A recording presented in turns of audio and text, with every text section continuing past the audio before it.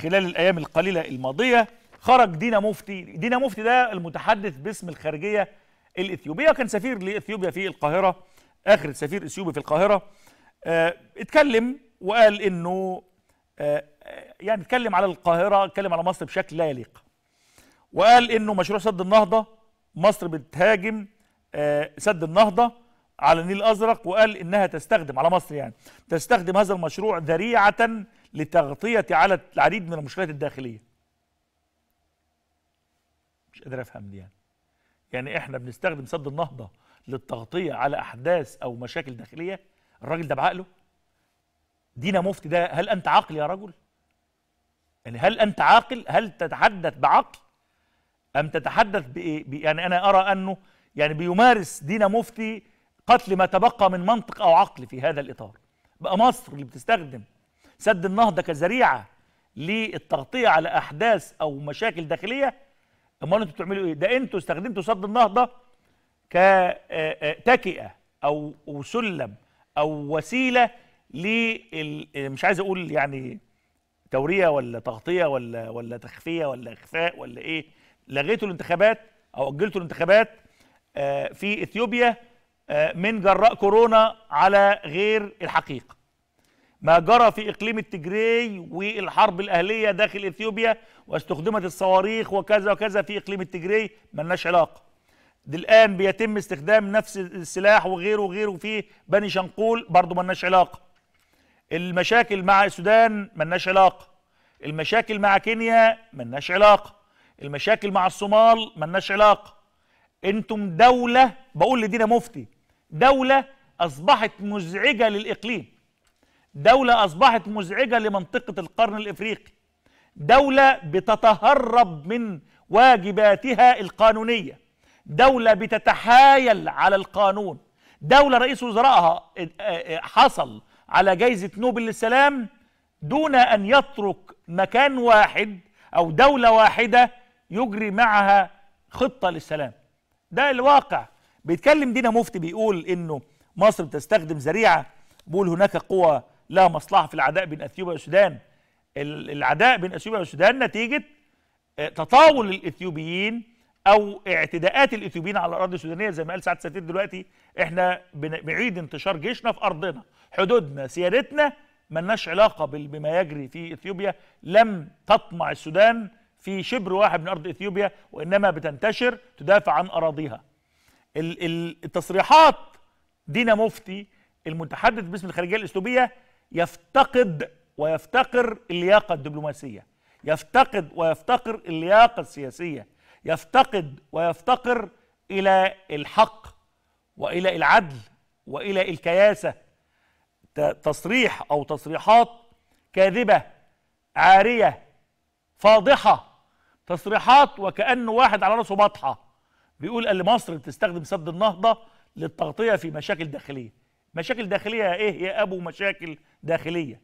ده أنت يعني يعني مصر دلوقتي وهي في ظل هذه الظروف اللي بتفاوض معاكم وأنتوا في قمة المراوغة السياسية قمة المراوغة القانونية بتبني بتصلح بتصلح نظامها الري بتعمل عملية تحليه مية بتعيد بناء الدولة.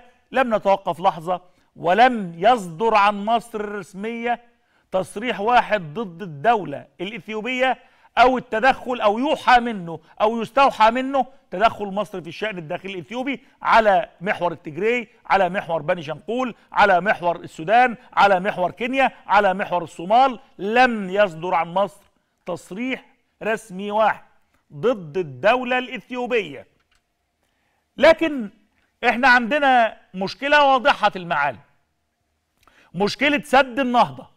مشكلة سد النهضة مطلوب الاتفاق القانوني الملزم لكلا الأطراف بما يحقق مصلحة الأطراف الثلاثة.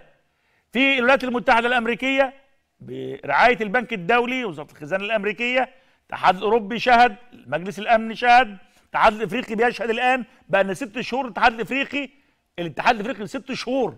عمال يحاول رئيس جنوب أفريقيا عايز الراجل يعمل حاجة قبل ما يسيب رئاسه الاتحاد الإفريقي. واحتمال كبير يكون في بكرة لقاء بيجمع رئيس الاتحاد الإفريقي مع آه، آه، رئيس الوزراء الإثيوبي أبي أحمد رئيس الوزراء السوداني عبد الله حمدوك والرئيس عبد الفتاح السيسي. ربما يكون في اجتماع بكرة عبر ال- الوسائل الوسائل الرقمية إن يكون في اجتماع قبل الاجتماع ال- ال- ال- الفني بين الدول الثلاثة في آخر اليوم. ربما يكون هذا. فإحنا بنروح فين؟ إحنا بنقدم أيادي السلام. إحنا بنقول يا سلام يا تعاون بنقول يا مصالح مشتركة لكن الأخ مفتي أو الأخ دينا له رأي آخر أو له آراء أخرى وأنا بقول له اعقل يا رجل أو تعقل يا رجل ولا تنطق ولا تنطق إلا بما تعرف.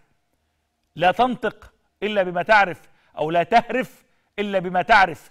بقول لدينا مفتي هرد عليك الرد البسيط جدا المهذب اللي رد بيه متحدث الخارجية المصرية السيد أحمد حافظ السفير أحمد حافظ قال إنه تصريحات إثيوبيا ضد مصر تجاوز سافر وخروج فج عن القيم الأفريقية. ده مين اللي قال؟ آه، السفير أحمد حافظ. وقال إنه تصريحات المتحدث باسم الخارجية الإثيوبية تطرق فيها للشأن الداخلي المصري واصفا إياها التي آه، بالتجاوز السافر وبغير المقبولة جملة وتفصيلا.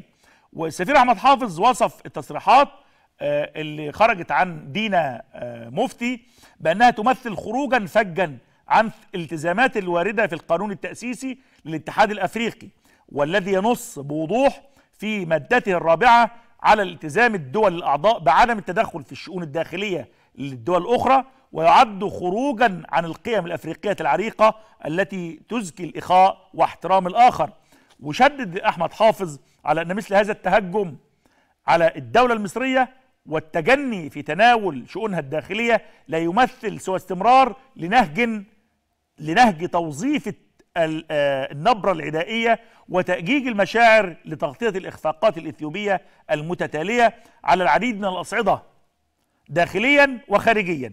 في حين أن مصر آثرت الامتناع دوما عن التطرق إلى الوضع الداخلي في إثيوبيا وأضاف كان من الأقدر على المتحدث باسم الخارجية الإثيوبية أن يلتفت إلى الأوضاع المترديه داخل إثيوبيا والتي تشهد الكثير من النزاعات والمآسي الإنسانية التي أفضت إلى مقتل المئات وتشريد عشرات الآلاف من المواطنين الأبرياء. وآخرها ما يدور في إقليمي تجري وبني شنقول على مرأى ومسمع من العالم وكذا ما يشهده إقليم الاورومو من توتر وعدم استقرار متواصلين.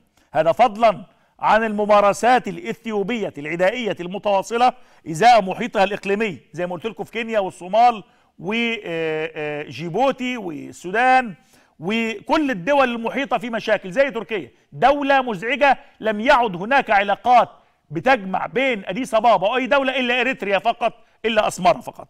بما في ذلك ما يشهده الشريط الحدودي مع السودان مؤخرا من أعمال عسكرية وتوتر متصاعد. اذا الخارجية الإثيوبية على لسان المتحدث باسم الخارجية خرجت عن النص وخرجت عن الأصول وخرجت عن الأدب السياسي. ولذلك كان الرد المناسب والملائم. من الخارجية المصرية يمثل ردا آه، يعني ملائما وجزاء وفاقا لما قام به المتحدث باسم الخارجية الإثيوبية. وبقول تاني إثيوبيا تلعب بالنار. إثيوبيا تعبث بأعواد الثقاب.